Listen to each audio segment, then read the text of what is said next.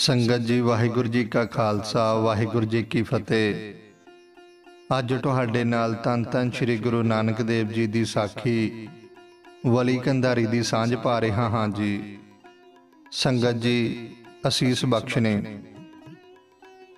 Baghdad ਤੋਂ ਵਾਪਸ ਮੁੜਦੇ ਹੋਏ ਗੁਰੂ ਜੀ ਅਤੇ ਮਰਦਾਨਾ ਹਿੰਦੁਸਤਾਨ ਵਾਪਸ ਆ ਗਏ। ਲੋਕਾਂ ਨੂੰ ਨਾਮਦਾਨ ਦੇ ਗੱਫੇ ਬਖਸ਼ਦੇ ਹੋਏ ਉਹ ਉਸ ਸਥਾਨ ਤੇ ਪੁੱਜੇ, ਜਿਸ ਨਗਰ ਨੂੰ ਹਸਨ ਅਬਦਾਲ ਕਿਹਾ ਜਾਂਦਾ ਸੀ। ਪਿੰਡ ਹਸਨ ਅਬਦਾਲ ਇੱਕ ਉੱਚੀ ਪਹਾੜੀ ਦੀ ਢਲਾਣ ਹੇਠ ਵਸਿਆ ਹੋਇਆ ਸੀ। ਇੱਥੇ ਹੀ ਇੱਕ ਉੱਚੀ ਪਹਾੜੀ ਉੱਤੇ ਵਲੀ ਕੰਧਾਰੀ ਨਾਮੀ ਫਕੀਰ ਰਹਿੰਦਾ ਸੀ, ਜਿਹੜਾ ਆਪਣੇ ਜਾਦੂ ਟੂਣਿਆਂ ਕਰਕੇ ਬਹੁਤ ਪ੍ਰਸਿੱਧ ਸੀ। ਉਸ ਦੀ ਰਿਹਾਇਸ਼ ਨੇੜੇ ਹੀ ਇੱਕ ਚਸ਼ਮਾ ਸੀ ਜਿਸ ਦਾ ਪਾਣੀ ਇੱਕ ਵੱਡੇ ਸਰੋਵਰ ਵਿੱਚ ਇਕੱਠਾ ਹੁੰਦਾ ਸੀ ਅਤੇ ਸਰੋਵਰ ਭਰ ਜਾਣ ਨਾਲ ਵਾਧੂ ਪਾਣੀ ਪਹਾੜੀ ਤੋਂ ਥੱਲੇ ਆ ਜਾਂਦਾ ਸੀ, ਜਿਸ ਤੋਂ ਪਿੰਡ ਦੇ ਲੋਕ ਪੀਣ ਵਾਸਤੇ ਘੜੇ ਭਰ ਲੈਂਦੇ ਸਨ। ਗੁਰੂ ਜੀ ਇੱਕ ਪਹਾੜੀ ਦੀ ਓਟ ਵਿੱਚ ਬੈਠ ਗਏ। ਉੱਥੇ ਉਹਨਾਂ ਨੇ ਮਰਦਾਨੇ ਨੂੰ ਰਬਾਬ ਵਜਾਉਣ ਲਈ ਕਿਹਾ ਅਤੇ ਆਪ ਇਲਾਹੀ ਸ਼ਬਦ ਦਾ ਗਾਇਨ ਕਰਨ ਲੱਗ ਪਏ। ਪਿੰਡ ਦੇ ਲੋਕਾਂ ਨੇ ਜਦ ਇਹ ਇਲਾਹੀ ਸ਼ਬਦ ਸੁਣਿਆ ਤਾਂ ਉਹ ਗੁਰੂ ਜੀ ਦੇ ਪਾਸ ਆ ਇਕੱਤਰ ਹੋਏ। ਇਸ ਮਨਮੋਹਣੇ ਕੀਰਤਨ ਨੂੰ ਸੁਣ ਕੇ ਉਹ ਕੀਲੇ ਗਏ। ਗੁਰੂ ਜੀ ਨੇ ਫਿਰ ਉਹਨਾਂ ਨੂੰ ਨੇਕ ਕਮਾਈ ਕਰਨ ਅਤੇ ਪ੍ਰਭੂ ਦੀ ਆਰਾਧਨਾ ਕਰਨ ਦੀ ਸਿੱਖਿਆ ਦਿੱਤੀ। ਉਹ ਰੋਜ਼ ਗੁਰੂ ਜੀ ਦੇ ਸਤਸੰਗ ਵਿੱਚ ਆਉਣ ਲੱਗ ਪਏ। ਜਦ ਫਕੀਰ ਵਲੀ ਕੰਧਾਰੀ ਪਾਸ ਲੋਕ ਜਾਣੋ ਹਟ ਗਏ, ਤਾਂ ਉਹ ਬਹੁਤ ਕ੍ਰੋਧ ਵਿੱਚ ਆਇਆ। ਉਹ ਪਿੰਡ ਦੇ ਲੋਕਾਂ ਨੂੰ ਸਬਕ ਸਿਖਾਉਣਾ ਚਾਹੁੰਦਾ ਸੀ। ਇਸ ਲਈ ਉਸ ਨੇ ਤਲਾਬ ਦਾ ਪਾਣੀ ਹੇਠਾਂ ਡਿੱਗਣ ਤੋਂ ਰੋਕ ਦਿੱਤਾ। ਪਾਣੀ ਦੀ ਘਾਟ ਕਾਰਨ ਪਿੰਡ ਦੇ ਲੋਕ ਘਬਰਾ ਗਏ। ਮਰਦਾਨੇ ਨੂੰ ਵੀ ਬਹੁਤ ਪਿਆਸ ਲੱਗੀ ਸੀ। ਗੁਰੂ ਜੀ ਨੇ ਉਸ ਨੂੰ ਸਮਝਾਇਆ ਕਿ ਉਧਰ ਪਹਾੜ ਉੱਤੇ ਇੱਕ ਚਸ਼ਮਾ ਹੈ।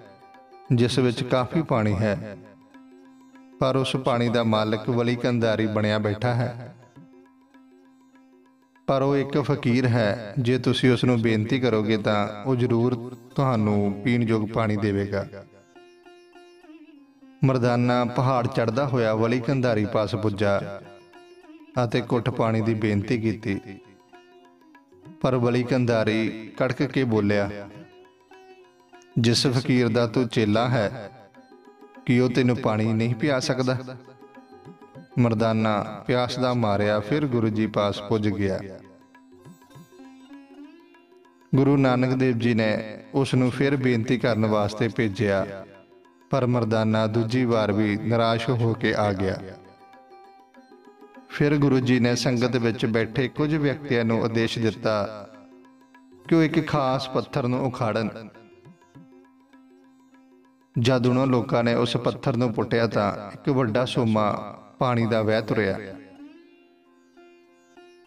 ਵਲੀ ਕੰਧਾਰੀ ਦਾ ਉਹ ਸਰੋਵਰ ਬਿਲਕੁਲ ਸੁੱਕ ਗਿਆ। ਉਹ ਗੁੱਸੇ ਵਿੱਚ ਲਾਲ ਪੀਲਾ ਹੋ ਗਿਆ। ਆਪਣੀ ਕਰਾਮਾਤੀ ਸ਼ਕਤੀ ਨਾਲ ਉਸ ਨੇ ਇੱਕ ਵੱਡੇ ਪੱਥਰ ਨੂੰ ਗੁਰੂ ਜੀ ਵੱਲ ਰੇੜਿਆ ਤਾਂ ਕਿ ਉਹ ਪੱਥਰ ਥੱਲੇ ਕੁਚਲ ਕੇ ਮਰ ਜਾਣ।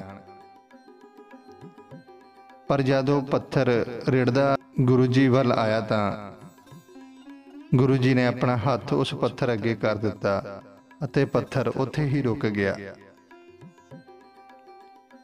ਗੁਰੂ ਜੀ ਦਾ ਪੰਜਾ ਉਸ ਪੱਥਰ ਵਿੱਚ ਧਸ ਗਿਆ। ਗੁਰੂ ਜੀ ਦੇ ਪੰਜੇ ਦਾ ਨਿਸ਼ਾਨ ਹਾਲੇ ਵੀ ਉਸ ਪੱਥਰ ਉੱਤੇ ਟਿਕਿਆ ਹੋਇਆ ਹੈ। ਜਦ ਗੁਰੂ ਜੀ ਦੇ ਇਸ ਅਨੋਖੇ ਕੌਤਕ ਦਾ ਪਤਾ ਪਿੰਡ ਵਾਲਿਆਂ ਨੂੰ ਲੱਗਾ ਤਾਂ ਗੁਰੂ ਜੀ ਦੀ ਚਰਨੀ ਆ ਲੱਗੇ। ਗੁਰੂ ਜੀ ਨੇ ਕੇਵਲ ਉਹਨਾਂ ਨੂੰ ਹੀ ਪਾਣੀ ਨਹੀਂ ਸੀ ਦਿੱਤਾ, ਬਲਕਿ ਪ੍ਰਭੂ ਦੀ ਕਿਰਪਾ ਨਾਲ ਉਹਨਾਂ ਦੀਆਂ ਫਸਲਾਂ ਵੀ ਪਾਣੀ ਦਾ ਆਨੰਦ ਮਾਣ ਰਹੀਆਂ ਸਨ। ਵਲੀ ਕੰਧਾਰੀ ਦਾ ਸਰੋਵਰ ਬਿਲਕੁਲ ਸੁੱਕ ਗਿਆ, ਕਿਉਂਕਿ ਜਿਹੜਾ ਪਾਣੀ ਵਲੀ ਕੰਧਾਰੀ ਦੇ ਸਰੋਵਰ ਤੱਕ ਜਾਂਦਾ ਸੀ, ਉਹ ਸਿੱਧਾ ਹੀ ਹੇਠਾਂ ਚੱਲਣ ਲੱਗ ਪਿਆ। ਜਦ ਵਲੀ ਕੰਧਾਰੀ ਨੂੰ ਇਹਨਾਂ ਸਾਰੇ ਕੌਤਕਾਂ ਦਾ ਗਿਆਨ ਹੋਇਆ, ਤਾਂ ਉਹ ਬੜੀ ਨਿਮਰਤਾ ਅਤੇ ਪਿਆਰ ਨਾਲ ਗੁਰੂ ਜੀ ਦੇ ਚਰਨਾਂ ਉੱਤੇ ਟਹਿ ਪਿਆ ਅਤੇ ਆਪਣੀ ਕੀਤੀ ਤੇ ਮਾਫੀ ਮੰਗਣ ਲੱਗਾ। ਗੁਰੂ ਜੀ ਨੇ ਉਸ ਨੂੰ ਸਮਝਾਇਆ ਕਿ ਸਾਨੂੰ ਮੰਗ ਕੇ ਖਾਣ ਦੀ ਆਦਤ ਛੱਡ ਦੇਣੀ ਚਾਹੀਦੀ ਹੈ। ਇਕੱਲਾ ਦੇ ਨਾਂ ਦਾ ਸਿਮਰਨ ਕਰਨਾ ਚਾਹੀਦਾ ਹੈ ਅਤੇ ਰੱਬ ਦੇ ਬੰਦਿਆਂ ਨੂੰ ਪਿਆਰ ਕਰਨਾ ਚਾਹੀਦਾ ਹੈ। ਵਲੀ ਕੰਧਾਰੀ ਗੁਰੂ ਜੀ ਦਾ ਸਿੱਖ ਬਣ ਗਿਆ। ਗੁਰੂ ਜੀ ਉਪਦੇਸ਼ ਦੇ ਕੇ ਅੱਗੇ ਚੱਲ ਪਏ। ਸੰਗਤ ਜੀ ਇਤਿਹਾਸ ਦੀ ਸਾਂਝ ਪਾਉਂਦੇ ਆ ਅਗਰ ਕੋਈ ਗਲਤੀ ਹੋ ਗਈ ਹੋਵੇ, ਤਾਂ ਮਾਫ ਕਰਨਾ। ਜੇ ਤੁਹਾਨੂੰ ਵੀਡੀਓ ਚੰਗੀ ਲੱਗੀ ਤਾਂ ਇਸ ਨੂੰ ਲਾਈਕ ਅਤੇ ਚੈਨਲ ਨੂੰ ਸਬਸਕ੍ਰਾਈਬ ਕਰਨਾ।